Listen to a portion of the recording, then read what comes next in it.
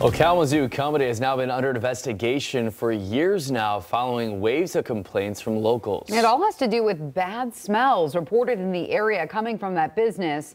Today, people can let their voices be heard and their thoughts be known at a meeting.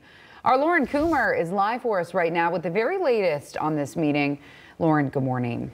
Yeah, good morning both. Today, the state is hosting that public meeting to discuss the smells reported coming from two industrial sites.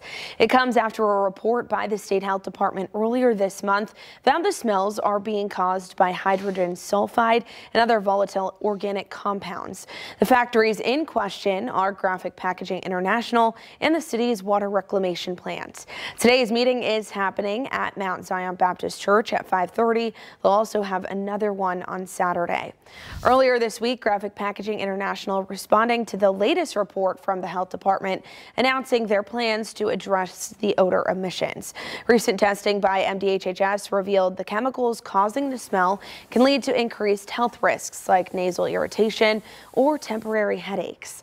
GPI entered a consent agreement with the department in February, which entailed nearly $110,000 in fines and an order to follow a compliance plan. Here's how they've said they'll be addressing the situation. First, by committing $8 million to address odor mitigation. New equipment should be in place by the end of the year. They're also upping their annual wastewater treatment costs by $2 million. That's to further reduce the risk for potential odors. And that includes adding a wet scrubber system to the plant to combat higher levels of hydrogen sulfide. GPI is also looking at the possibility of redirecting some of its water discharge away from an an area deemed to be an odor source. In a statement, Vice President of Recycled Mills at Graphic Packaging, Scott LeBeau said in part, quote, we've been a part of Kalamazoo for more than 100 years and are committed to improving not just the air quality, but the quality of life in the community we call home.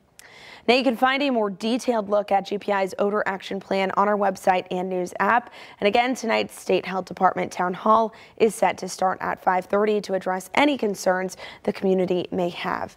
Reporting live in studio, Lauren Coomer, Fox 17 News. Thank you for